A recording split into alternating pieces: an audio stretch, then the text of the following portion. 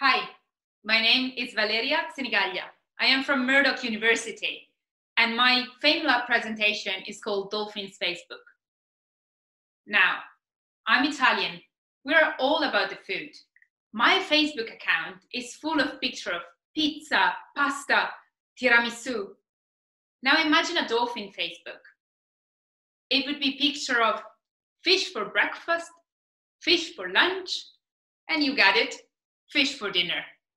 And while most dolphins would go out and catch their own fish, some of them get takeaway from humans.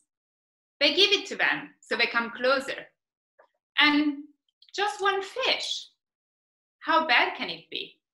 Well, I spent over 200 hours following dolphin and four years of a PhD to answer this very question. And I can tell you that one fish can lead to a sea of trouble. My PhD is about food, dolphin, humans, and relationship. Dolphin have complex relationship. Some last only few hours, like ours. Others can last a lifetime.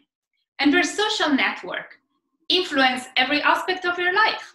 How they raise their young, how disease spread across the population, no social distancing there, but also how they face a stressful situation.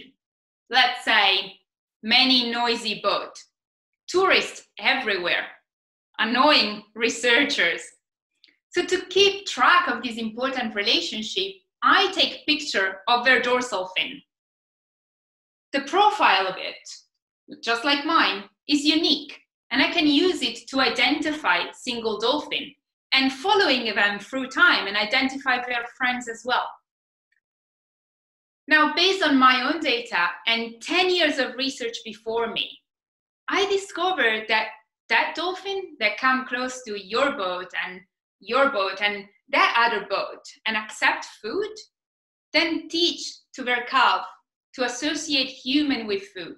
So their calf spend more time close to dangerous propeller they're not playing and socializing with other calf. They miss out on very important learning opportunity from their peers. This can have an effect on their well-being. So really the best way to help a dolphin is not helping a dolphin. Give a dolphin a fish and you will feed it for a snack. But let a dolphin play and it will learn to fish for life.